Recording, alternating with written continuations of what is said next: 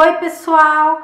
Bom, gente, hoje é mais um dia do Veda e eu venho aqui falar para vocês três bênçãos que eu aprendi com a minha dor, quando eu tava sentindo aquela dor que parece ser insuportável. Bom, gente, ninguém quer sentir dor, né? Ninguém escolhe, ah, eu vou sentir dor. E a dor é algo que, seja ela como for, é ruim sentir. Seja ela uma dor sentimental, uma dor física, uma dor amorosa, seja ela qual dor for, não é fácil aguentá-la.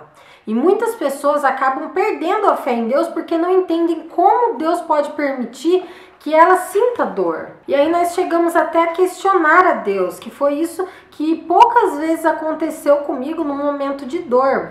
Mas quando nós entendemos que Deus ele quer o nosso melhor, ele quer que a nossa vida seja salva, que nós devemos é, lidar com a dor de forma aproveitosa, nós começamos a entender o que Deus quer para nossa vida. Como assim lidar com a dor de forma aproveitosa? Bom, você tem que pôr na sua cabeça o que Deus está querendo te dizer com aquela com aquele momento que você está passando, o que Deus está querendo te ensinar com aquele momento. E hoje eu vim aqui falar para vocês três coisas que a dor me ensinou. Se não fosse a dor, talvez eu não teria ter aprendi. A primeira coisa que aconteceu na minha vida, a primeira bênção que aconteceu na minha vida com a dor, foi que Deus me transformou através da dor. Eu não era essa Camila que queria falar de Deus, eu não era essa Camila que gostava de falar de Deus, que gostava de ouvir de Deus, que gostava de ir para a igreja, que frequentava uma igreja. Eu não era tipo de Camila, eu era o tipo de Camila do mundo, entendeu? E se não fosse a dor que eu senti naquele momento,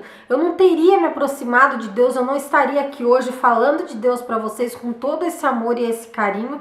Então, essa foi uma das coisas que eu aprendi muito com Deus e foi a principal coisa que Deus transformou. Deus ele me mudou, ele me transformou e foi através da dor. Eu sei que foi. A segunda segunda bênção foi que Deus usou a minha dor para cumprir propósitos em minha vida. A minha vida estava de uma forma parada, sabe? Sofrida, parada. Eu não tinha propósito, eu não pensava em nada, eu não queria saber de nada. Então, através daquela dor, Deus começou a cumprir os propósitos deles, dele que ele tinha para minha vida. Ele começou a me colocar onde ele queria que eu tivesse, ele começou a me levar onde ele gostaria que, que eu fosse levada. Então, Deus, através da minha dor, ele foi cumprindo os propósitos dele na minha vida. Eu conseguia escutar a voz dele e saber o que ele queria para minha vida vida. E eu não queria nada, gente. Nada que não fosse da vontade dele para minha vida. Eu lembro que no momento da dor, eu falava assim: Senhor, eu não quero fazer nada que atrapalhe os teus propósitos para minha vida.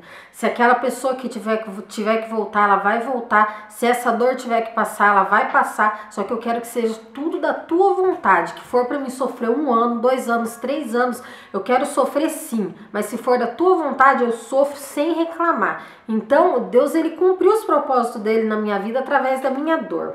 E a última coisa, gente, a última bênção, né, que eu tive com a dor, que eu aprendi com a dor, foi que Deus usou a minha dor para abençoar outras pessoas, para ensinar outras pessoas. E eu tinha certeza, gente, eu sempre tive certeza que aquela dor que eu passava não era em vão, que aquele sofrimento, que aquele momento de luto espiritual que eu passava não era em vão, sabe? Eu sabia que tudo aquilo que aconteceu na minha vida ia servir de, de testemunho para a vida de outras pessoas, ia servir para ajudar outras pessoas que tivessem passando pela mesma coisa. E eu sinto que esse meu testemunho, que eu ainda não falei para vocês a respeito da minha vida toda, ainda vai transformar a vida de muitas pessoas, como já vem transformando de algumas pessoas próximas de mim.